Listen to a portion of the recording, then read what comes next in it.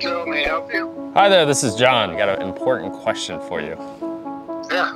What is the course record? The course record at Crow Creek is 62. 62? 62. 10 under. Alrighty.